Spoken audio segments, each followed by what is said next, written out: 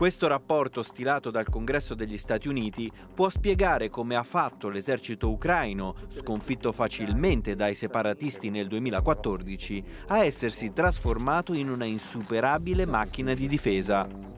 Vi si legge che dal 2014 al febbraio 2022 gli Stati Uniti hanno speso più di 3 miliardi di euro per addestrare e armare l'esercito ucraino. Inoltre, dal 2015, istruttori americani hanno fornito formazione, tutoraggio e dottrina militare. Secondo il documento del Congresso americano, le spese militari di Washington in Ucraina sono quasi decuplicate dal 2015 al 2022, comprendendo armamenti e sistemi elettronici sempre più sofisticati fucili da cecchino, lanciarazzi anticarro, radar antiartiglieria, apparecchiature per la guerra elettronica, sistemi di analisi di immagini satellitari, sistemi di controllo aereo antidroni e sistemi di sorveglianza aerea.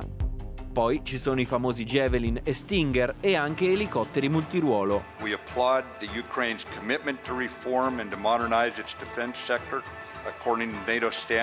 Così si esprimeva Jim Mattis, segretario alla difesa americano a Kiev nel 2017 ma l'integrazione tra forze ucraine e NATO va avanti da più di vent'anni.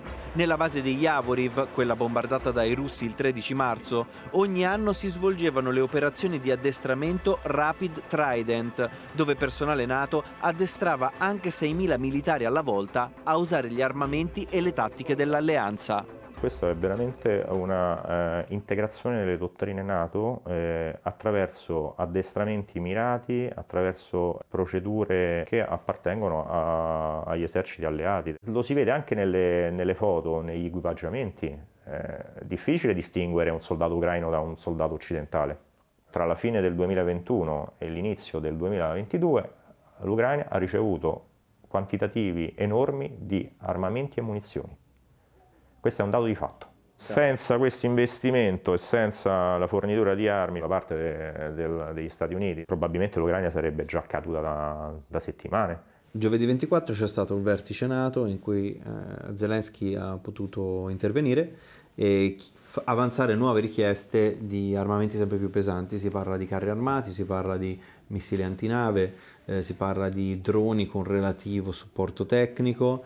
È accettabile per la Russia che si invii questo materiale sul campo? No, no, semplicemente no.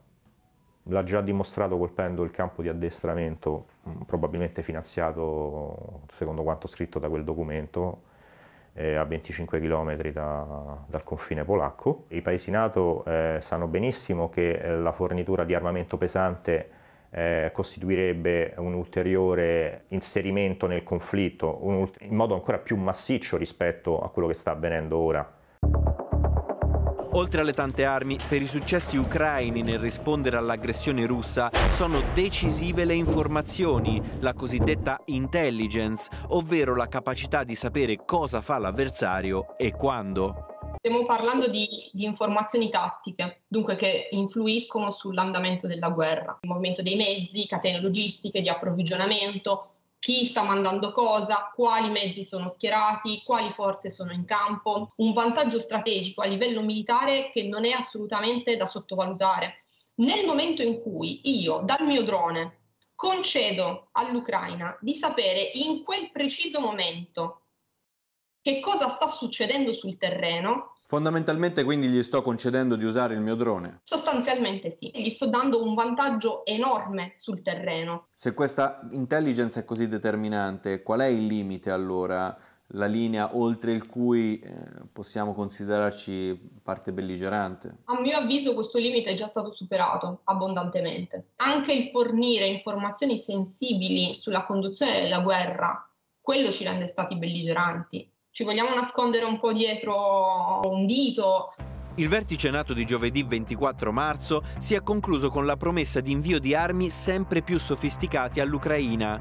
Parliamo di droni e sistemi antiaerei e di un nuovo pacchetto di sanzioni. Ma il presidente ucraino Zelensky aveva chiesto molto di più, aerei, missili e persino carri armati. Ucraina potrebbe bisogno di aiuto senza як без обмежень Росія застосовує проти нас увесь свій арсенал. Україна зверталась до вас по літаки, щоб ми не втрачали стільки людей. Ми звертались по танки, щоб ми могли деблокувати наші міста. Ми не маємо поки що ясної відповіді. Чи перестане тоді НАТО думати про це, переживати, як відреагує Росія? Le dichiarazioni del presidente americano Biden degli ultimi giorni però non solo fanno pensare che la Nato non abbia paura delle reazioni di Mosca, Be not afraid. ma che gli stessi obiettivi dell'alleanza siano cambiati. For God's sake, this man cannot remain in power. Anche se il segretario di Stato americano Anthony Blinken ha poi corretto il tiro, negando che ci sia una strategia americana per un cambio di regime a Mosca, a sentire le parole di Biden sembra che per la Nato l'idea di una Russia ancora guidata da Putin non sia più accettabile. Questo però trasformerebbe completamente il senso e le dimensioni del conflitto, facendolo diventare una guerra per procura dove si scontrano Russia contro USA e NATO. Ha molte di queste caratteristiche perché eh, l'Ucraina sta diventando in qualche modo un nostro proxy nella battaglia di contenimento della Federazione russa e probabilmente anche eh, uno strumento per provare a provocare una crisi politica a Mosca e magari pervenire alla sostituzione del suo presidente. A spingere nella direzione dell'accentuazione della pressione sono i polacchi sicuramente, i baltici, le, cioè le tre repubbliche baltiche. La Gran Bretagna, come gli Stati Uniti, eh, sta sviluppando una politica fortemente, fortemente antirussa. Qual è la linea rossa però? La mia impressione è che noi in realtà stiamo sondando volta per volta dove si trovi questa soglia e mano a mano la spostiamo sempre più avanti in reazione alle richieste che vengono da Zelensky. Noi abbiamo confermato al vertice della Nato che forniremo agli ucraini ancora armi anticarro, armi antiaeree e dei droni, ma la novità di questa volta è che assieme ai droni forniremo anche dei tecnici che verosimilmente addestreranno gli ucraini ad utilizzarle, queste armi nuove. E allora il punto qual è? Capire se i russi considereranno eh, i tecnici che seguiranno le nostre forniture di droni e quant'altro come parti belligeranti ed emanazione dell'organizzazione. In realtà il confine è molto sottile, siamo in un terreno di grandissima ambiguità. In tutta questa guerra l'ambiguità la fa da padrona. Questa linea rossa, oltre al fatto che nessuno sa dov'è, è anche mobile, nel certo. senso che quello che oggi è tollerato dai russi potrebbe non esserlo domani se dovesse cambiare la situazione sul campo. Evidentemente, a maggior misura che i russi si indeboliscono sul terreno e già in questo momento si trovano in una situazione eh, non diciamo ottimale, è chiaro che il rischio che questa linea rossa si sposti ma in una direzione a noi sfavorevole esista.